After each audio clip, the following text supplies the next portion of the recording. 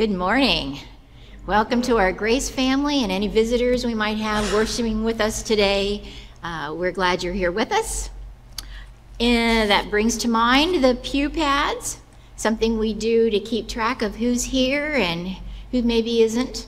Uh, if you're sitting by the uh, aisle seat, please start that down your row. A couple of announcements and reminders. For the month of February, we are collecting kitchen items for the NALC disaster relief. We're also collecting Bibles, blankets. Uh, the confirmation class is going to make a trip down to the warehouse to help work in the warehouse as a service project on March 4th. They'll be taking the items donated. Uh, there's a table that's out um, by the, the entrance. There's bins for uh, tools, blankets, Bibles, healthcare items. I got a lot of stuff today. Put that in here.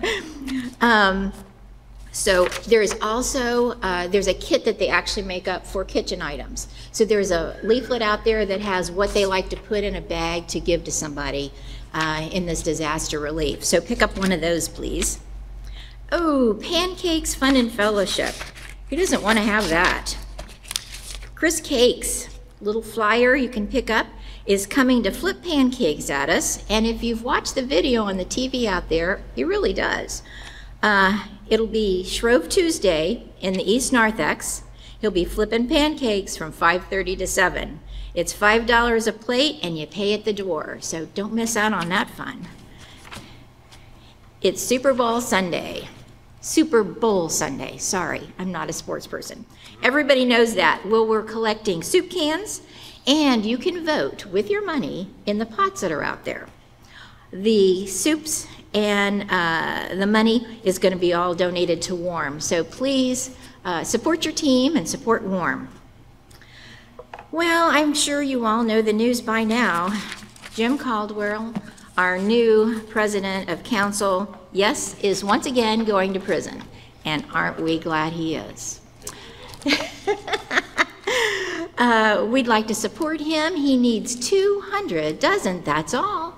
200 dozen of cookies to take with him when he goes. He goes with a group to share the sweetest story any heart has ever heard about our Lord Jesus Christ to ears that have never heard and to those that are hearing it really for the first time. There's a handout at the Welcome Center, gives you the ins and outs of the cookies and what not to do and what to do so that they can get them into the prison to be handed out to everyone.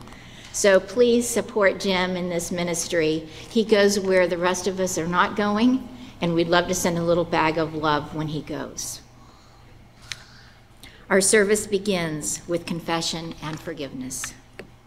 Stand and turn to a baptismal font as we begin. One of the things we're going to uh, lift up our Boy and Girl Scouts um, at 11, but the Nikolai family are here today. You can just come out a little bit, Jack. Come on. He's got his uniform on and everything. Just want to uh, show appreciation for what you're a part of, your whole family, and what you do together. And uh, oh, what are you hiding back there? Oh my gosh. Okay, one, one thing they haven't gotten through yet is how to be uh, uh appear publicly and be okay with that. I know what that feels like. Anyway, we congratulate all of you. We pray God's blessings on you and uh, continued blessings in your endeavors. Okay, we'll see you upstairs. Okay, thanks. Appreciate that. Yes, you bet. If you have a chance to uh, talk with them afterward, at, uh, in between services, maybe you want to ask them what they're doing in scouting and how it's going for them. Um, I'm sure they'd love to kind of fill you in. In the name of the Father, and of the Son, and of the Holy Spirit, amen. Almighty God, to whom all hearts are open, all desires known, and from whom no secrets are hid, cleanse the thoughts of our hearts by the inspiration of your Holy Spirit, that we may perfectly love you and worthily magnify your holy name, through Jesus Christ our Lord. Amen.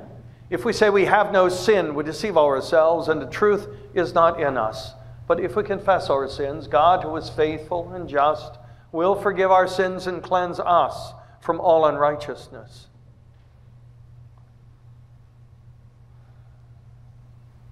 Merciful Father, we confess that we are in bondage to sin and cannot save ourselves. We sin in thought, word, and deed, by what we have done, and by what we have undone.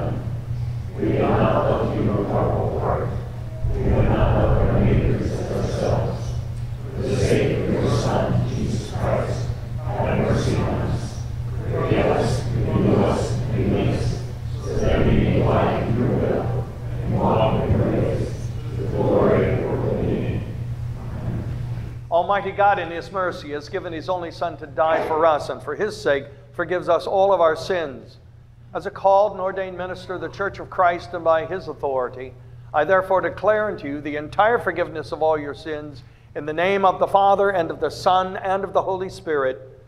Amen. We'll continue with the opening hymn.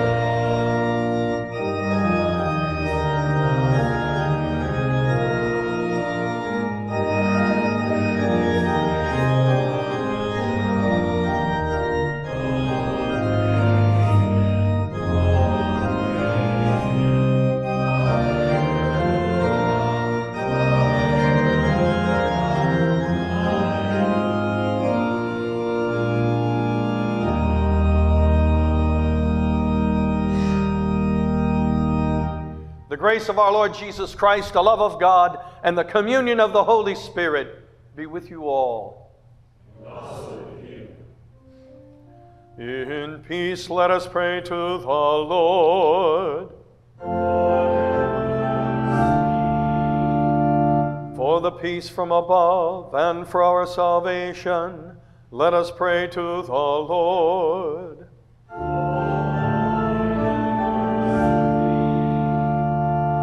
For the peace of the whole world, for the well being of the church of God, and for the unity of all, let us pray to the Lord.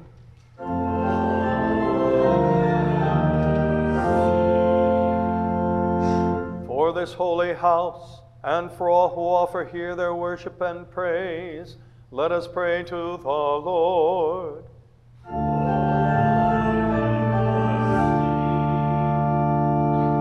Help, save, comfort, and defend us, gracious Lord.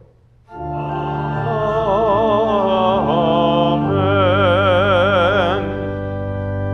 Glory to God in the highest, and peace to his people on earth. Lord God.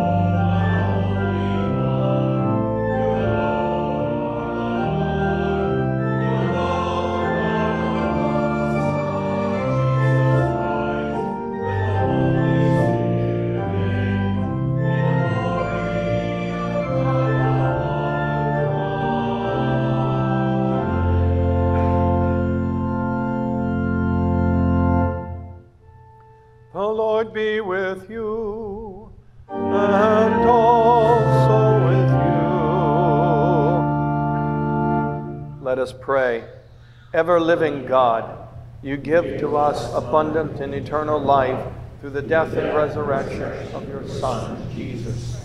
By your grace, put to death the old sinner in us, and raise us saved to life, so that we may follow him, growing in peace and willingness to forgive as we can forgive. Through our Lord Jesus Christ. You may be seated.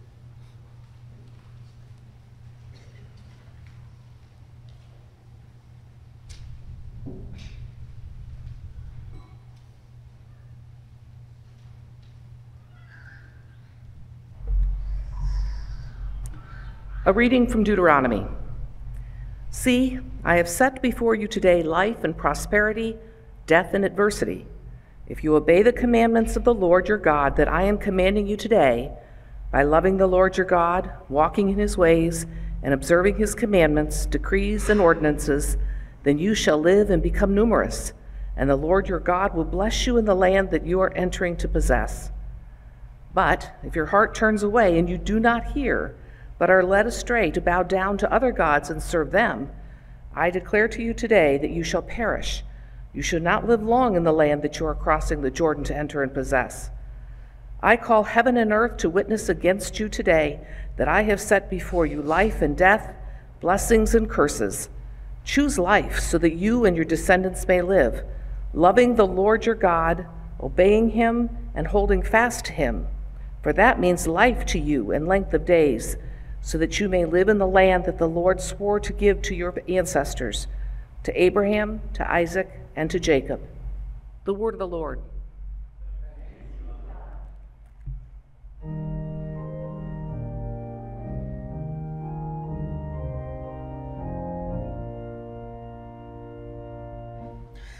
Happy are they who follow the teaching of the Lord.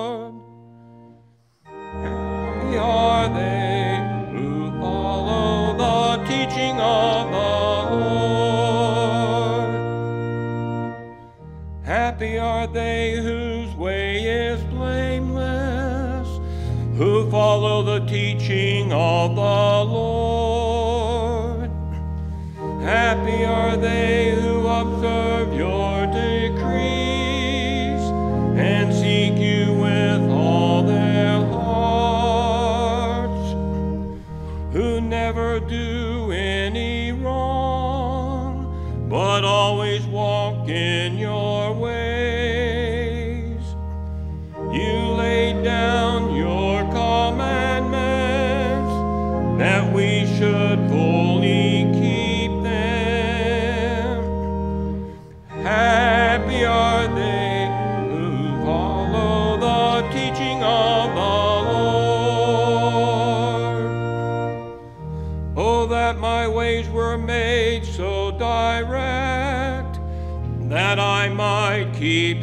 statutes. Then I should not be put to shame when I regard all your commandments. I will thank you with a true heart when I have learned your righteous judgments. I will keep your. Do not utterly forsake me. Happy are they who follow the teaching of the Lord.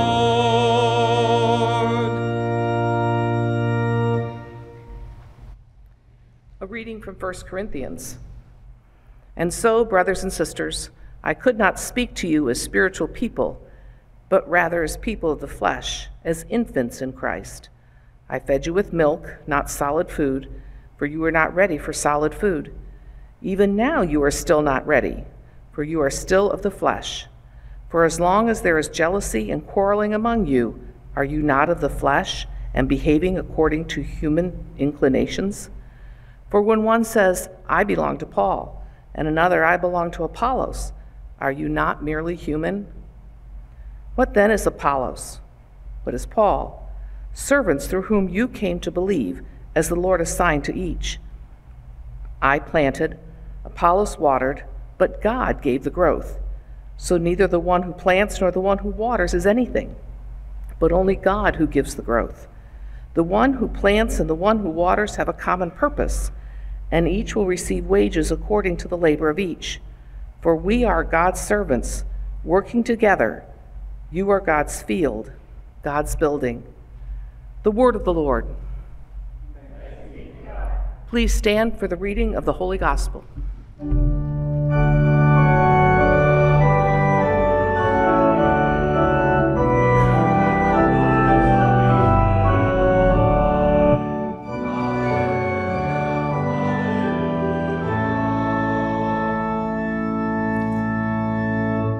Gospel according to St. Matthew, the fifth chapter.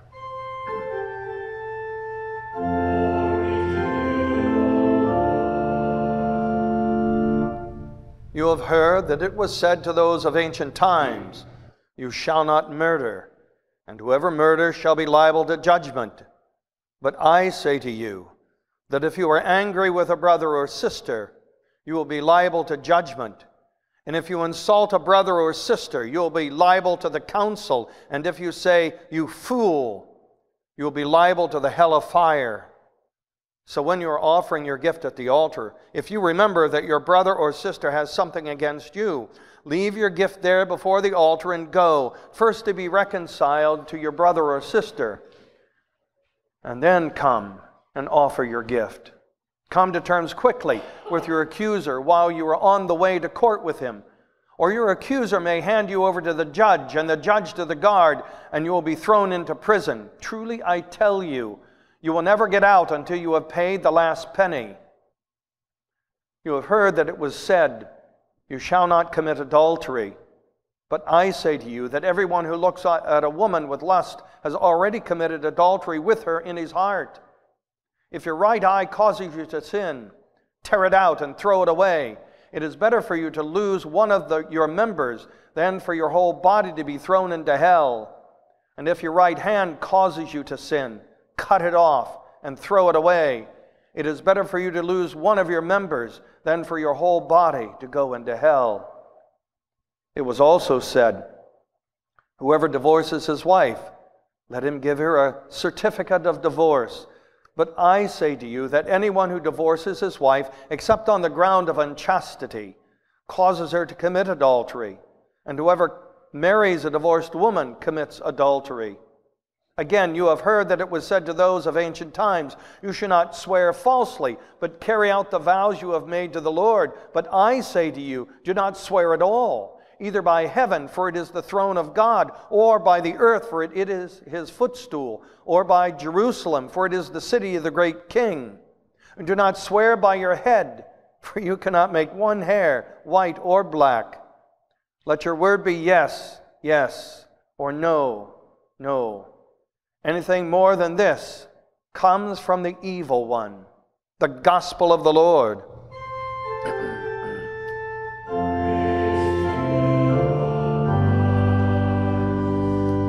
Be seated.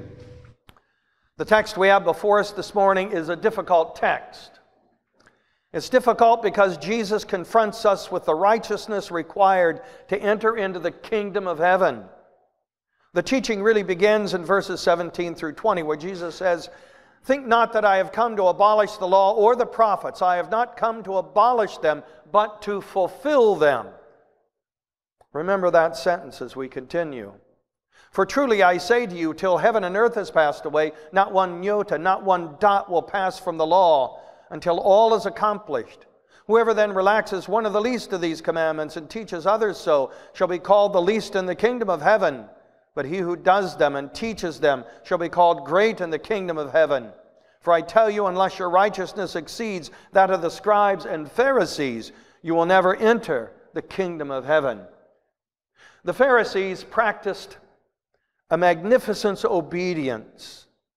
In addition to all their taxes, they donated 10% of their income to charity. They chose not to go into battle on the Sabbath, allowing themselves to be killed defenselessly rather than to take light God's gift of the Sabbath. They suffered the most horrible forms of martyrdom rather than surrender their scriptures. They understood life as truly human only when God is more important than anything else. And yet Jesus said to his disciples that unless their righteousness exceeded that of the scribes and Pharisees, they could not enter the kingdom of heaven. The righteousness that exceeds the scribes and the Pharisees is worshiping Jesus, which is worshiping God, which is following the first commandment to love the Lord your God with all your heart, with all your mind, with all your strength, and with all your soul. This is why not one iota or one dot will be lost from the law until all is fulfilled. Obedience to the law is good. However, God never intended the law to be an end unto itself, nor a means to justify ourselves before God. The law was not intended by God to be a weapon wielded against another or used to gain power over another.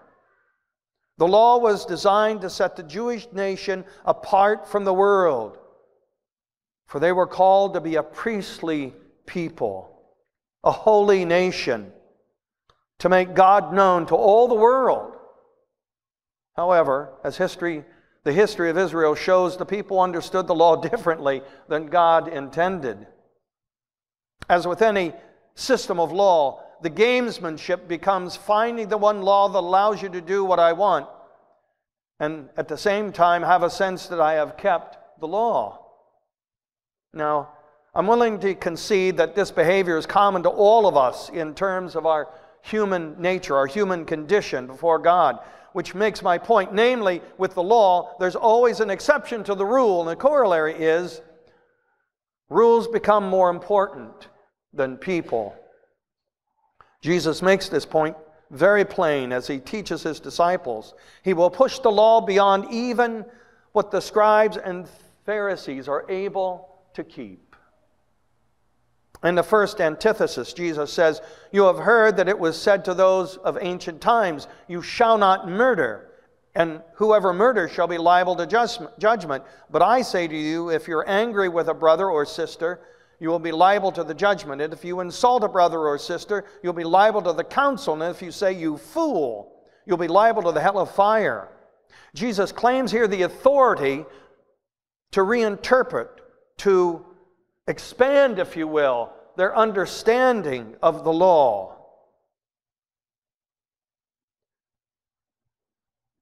What the point he's making is there's now no longer any distinction between willing something and acting. Willing something and acting. Wishing to kill is the same as killing. Have you not heard somebody say sometime, somewhere, I wish you were dead? Hmm? Jesus said, Well, you just killed him. In the Hebrew scriptures, we are given the law an eye for an eye and a tooth for a tooth. So if you murder a person, what should your punishment be? Death. If wishing to kill is the same as killing, as murder, what should your sentence be? Death. Jesus is turning up the heat. He tells the crowd, it's not what you do that is the issue in fulfilling the law, but what is in your heart. Jesus said, I say to you, if you are angry with your brother and sister, now this is meaning your brother and sister in the community of faith. I mean, that's not even extending it to what goes on in family systems, huh? He's just talking about what you're doing to fellow members of the body of Christ. You will be liable to judgment. And if you insult a brother or sister, you'll be liable to the council. And if you say, you fool, you'll be liable to the hell of fire. Jesus is saying, whatever comes out of your mouth reflects what is in your heart. And you will rightly be held accountable and prosecuted for these things. Who's speaking here? Well, Jesus is. Who is Jesus? Jesus is the judge before whom everyone will stand and give an account, for the Father has deemed it so to be. Who among us has not gone home or out to lunch and talked about someone at church or spoken about how long the sermons are, and if the pastor just preached shorter and more succinct, we could be out in an hour, for goodness sakes or called someone foolish or have been at odds with a brother or sister in Christ at some point in our lives. Jesus threw his net wide, and we're all, beloved, we're all in it. When our case is adjudicated for all of our offenses, what will be the sentence under the law? Death. In all these cases, we are dead. Dead dead because we have broken each and every one of these commandments. We've broken them from our heart. And as I said, that doesn't even that doesn't even go to the point where you've said something to your spouse or said things to your children or the children have said something to you or you talked about one of your relatives or you know that goes on and on. We are so we are so we say in the military, we're in deep kimchi. We are in deep, deep trouble. All of us are going to hell. All of us are going to hell. At this point, I believe Jesus would agree that with those who say that trying to legislate morality is impossible. For what is needed is repentance, metanoia in Greek, which means a change of your mind, my mind, your mind. Only when we have changed our mind about pleasing God by trying to keep the law as our passport into God's presence can we hear Jesus say, The kingdom of God has come near. Why? Because Jesus came down from heaven to earth in the incarnation. Now, fully God and fully man, Jesus dwells among us. He tabernacles among us, with us. Remember the sentence above, I ask you to remember. Jesus said, Think not that I have come to abolish the law, but to fulfill it. What's he just done? He said, You, Matt, you, congregation, you, people of God, you cannot fulfill it. But I have come to fulfill the law. I am the fulfillment of the law.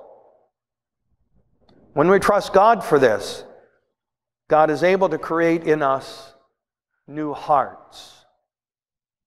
With a new heart, attention is shifted away from the individual, from me and my striving to be self righteous, and focuses on the other person and how his or her living has been whittled away by my conduct, even if only by my angry heart. Jesus shifts us from personal righteousness to protection of one's neighbor.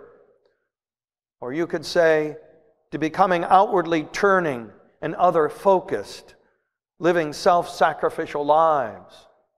So Jesus continues by saying, You have heard that it was said, You shall not commit adultery. But I say to you that everyone who looks at a woman with lust has already committed adultery with her in his heart. It's interesting, Thomas Jefferson quoted this very scripture in reference to our constitutional republic, where he, where he said, The citizens of these United States are to be self governed Jefferson said, Jesus purified things at the headwaters. If you have lust in your heart and you repent of this thought immediately asking God's forgiveness, then you never fulfill the heart's intent. The object of Jesus' concern here is the dignity and personhood of the woman as one created in the image of God. In Luther's explanation of the sixth commandment, Luther wrote, We are to fear and love God so that in matters of sex or words and conduct are pure and honorable, and husbands and wives love and respect each other. To strip away a person's humanity and use that person as an object of one's fantasy and pleasure, even in the privacy of one own, one's own mind, is adultery, is sin. Luther pegged it right. Our mortality, our ethics and behavior grow out of our respect and fear and love for God, who sent his Son into the world to make the atoning sacrifice for our transgressions, and during the Father's wrath for our rebellion, Jesus died forsaken upon the cross. Through the cross and Jesus rising from the dead, behold, the old has passed away, and all things, all things have become new. By God's grace in the waters of baptism, we have been born from above and are now to live as new creatures. So Christ in us is now the hope of glory. It was also said, Whoever divorces his wife, let him give her a certificate of divorce. But I say to you that anyone who divorces his wife, except on the ground of unchastity, causes her to commit adultery. And whoever marries a divorced woman commits adultery. Here again, Jesus moves to protect the rights of the woman. In Jesus' day, a man could divorce his wife for anything, any reason, while a woman had no such legal remedy. What Jesus speaks against is a woman becoming an object, that is, the property of her husband, something he can own or get rid of, give away. Notice Jesus' remedy is not to give the woman the same rights that men had. Wouldn't you think that's what he'd say? Okay, gals, if you want to divorce him, you just write him a, a, a, a, divorce. You know, write him a certificate of divorce and let him go. That's what we did, didn't we? Did we have no fault divorce? Didn't, didn't we do that? That's what we did. Jesus didn't do that. No, rather, he calls for a renewed fidelity and purity from both the man and the wife. That they remain a couple, forgive each other, work things out. We understand sometimes there are terrible things that happen and, and you can't survive and keep going. God knows that. He understands that. He's talking about capricious behavior. Men going through their you know, midlife crisis and wanting a younger model or whatever. And so you divorce so you can go out and do whatever you want. No. Jesus is against such things. And he stands to protect the woman's rights and to hold that which holds society together, which is the family. You destroy the family, you destroy your, your whole society, unravels and goes away. Jesus wants to hold society and family and society and a people together, not see them shattered by Satan across the landscape. Again, you have heard that it was said to the men of old, You shall not swear falsely, but perform to the Lord what you have sworn. But I say to you, do not swear at all, either by heaven, for it's the throne of God, or by the earth, for it's his footstool, by Jerusalem, for it's the city of the great king. Do not swear by your own head, for you can't make one hair white or black. That what you say be simply yes or no. Anything more comes from the evil one, from Satan. Please notice in all of his teachings, Jesus is addressing individuals. He's not addressing governments. Governments are set in place by God to maintain order, keep the peace, and protect the nation and the rights of its citizens. That's why governments have been installed by God. Now, it gets way out of whack. We know that. Human beings are broken and sinful. That's what God intended, but it's not how things work out for us most often. Jesus here is speaking to his disciples. And in the simplest of terms, Jesus reminds you and me that when yes can come to mean no, and no can come to be yes. Community is destroyed. For who can trust what anyone says when yes means no and no means yes? Furthermore, a person of honesty and integrity has no need to swear at all. For it's known in the community that he or she, his or her words are their bond and they are transparent in this regard. If you're a person of integrity, people know that. You don't have to swear. Oh, I'm telling you, uh, hey, I'm telling you the truth. You don't have to say that because truth telling is what you do. I mean, if you got to tell some now, I'm going to tell you the truth. That means, well, everything else usually you're lying about.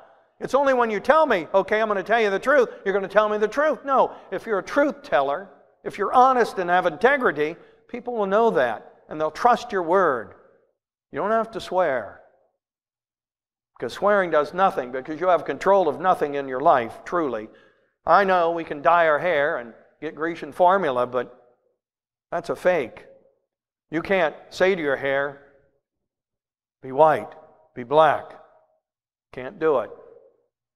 Age takes care of that on its own. So Jesus says, don't swear. Let your no be no and your yes be yes. It seems what Jesus is doing in each of these instances is pushing the law beyond the letter and into the realm of the Spirit. If we look at the law as a condition to be met, which in its keeping grants us access to God, then what Jesus has to say is very bad news because, at our best, we will never exceed the righteousness of the scribes and Pharisees. But that is why God sent His Son into the world. Because as devoted to the law as the scribes and Pharisees were, the devotion, their devotion was marred.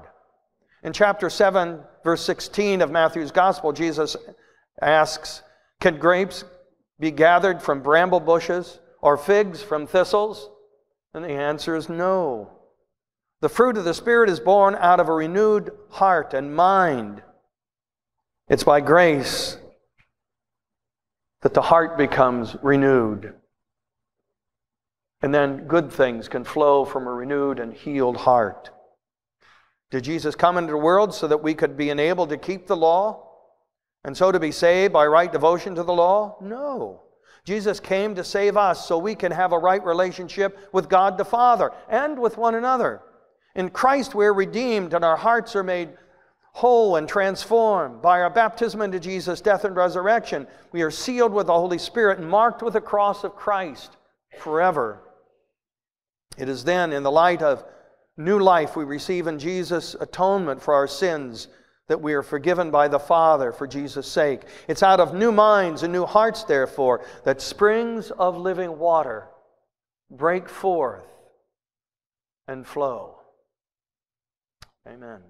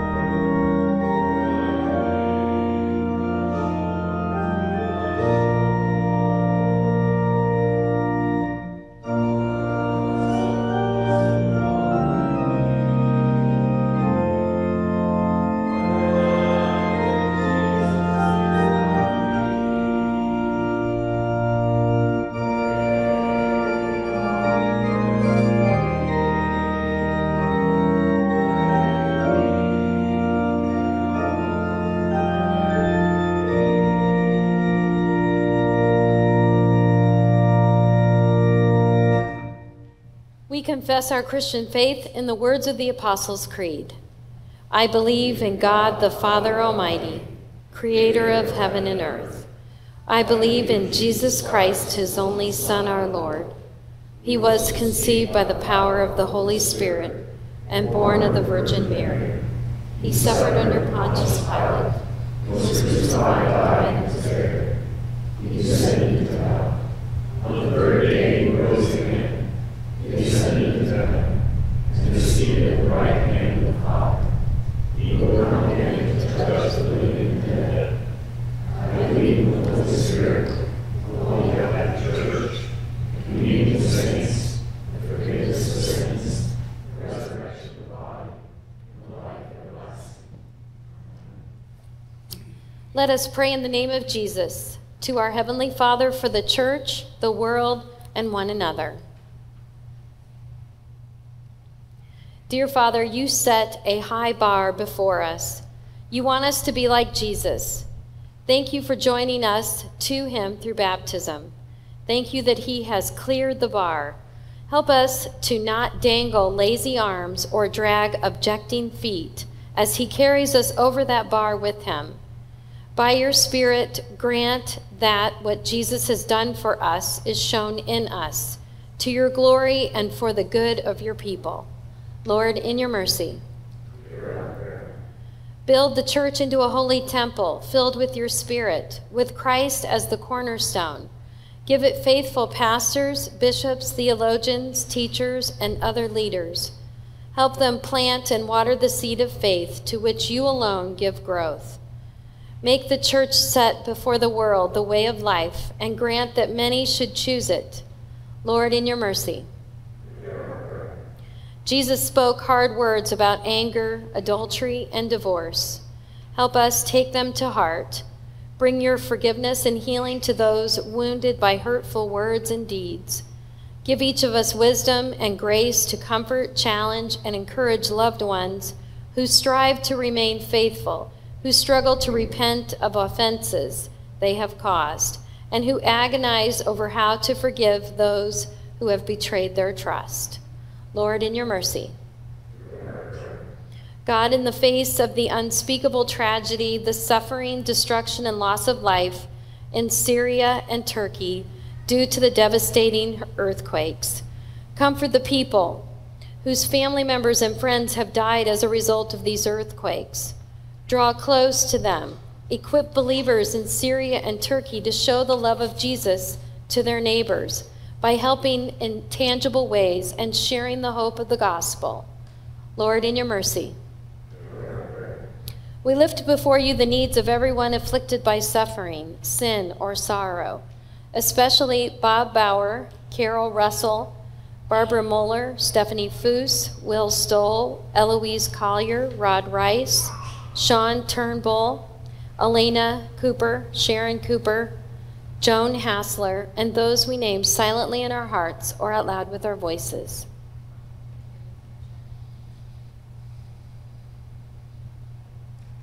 Deliver them from evil, grant them refreshment, hope, and healing, and restore them to fellowship with all who love them. Lord, in your mercy. Loving God, be with us and guide us during this time of discernment. Fill our leaders with your wisdom. Keep us mindful of the work you would have us do. Lead us and guide us, Lord, to be about the work of your kingdom, even as the search for a new pastor continues. Bless all who have taken on extra responsibility and fill them with the sense of your love and presence. Lord, in your mercy.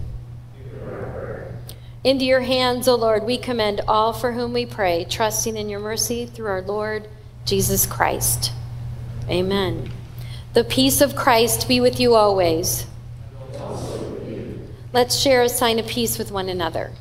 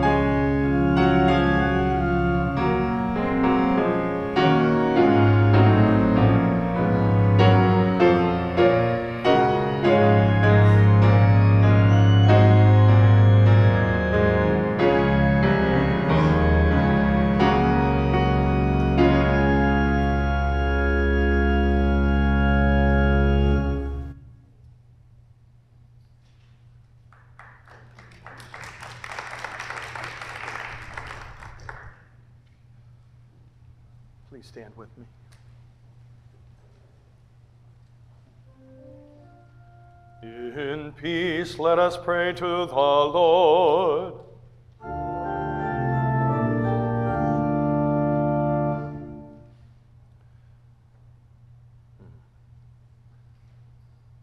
Lift up your hearts, lift them to the Lord.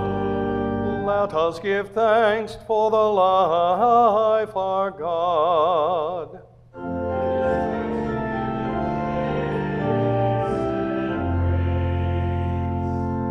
It is indeed right and salutary that we should at all times and in all places offer thanks and praise to you, O Lord, Holy Father, through Christ our Lord.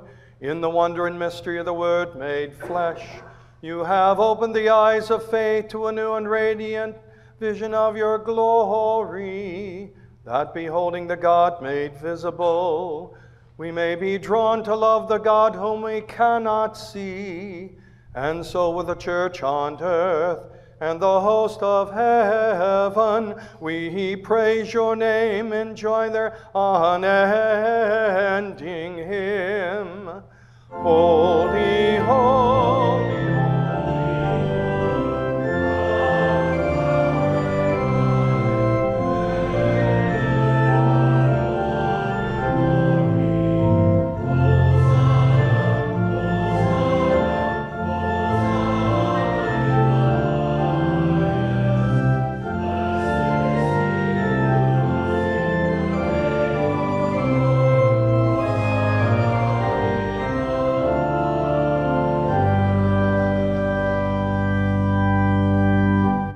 The night in which he was betrayed, our Lord Jesus Christ took bread, gave thanks, broke it, and gave it to his disciples, saying, Take and eat. This is my body given for you. Do this for the remembrance of me. Again, after supper, he took the cup. And after giving thanks, he gave it for all of them to drink, saying, This cup is a new covenant in my blood, shed for you and for many for the forgiveness of sin. Do this for the remembrance of me. Together we pray, Our Father, who art in heaven, hallowed be thy name. Thy kingdom come, thy will be done, on earth as it is in heaven. Give us this day our daily bread, and forgive us our trespasses, as we forgive those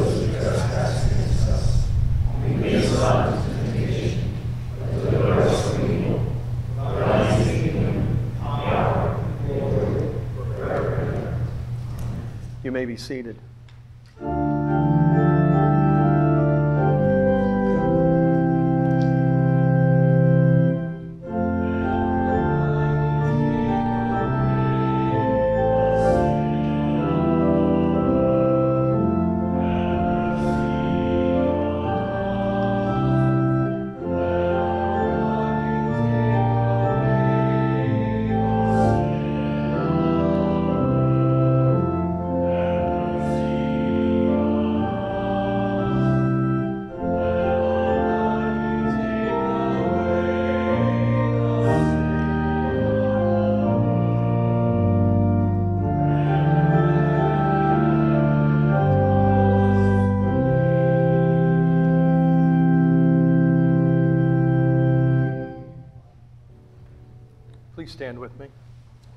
The body and blood of our Lord Jesus Christ strengthen you and keep you in his grace. Amen. We give you thanks, Almighty God, that you have refreshed us through the healing power of this gift of life. And we pray that in your mercy you would strengthen us through this gift in faith toward you and in fervent love toward one another. For the sake of Jesus Christ our Lord. Amen. The Lord bless you and keep you. The Lord make his face shine on you and be gracious unto you. The Lord look upon you with favor and give you peace. Amen.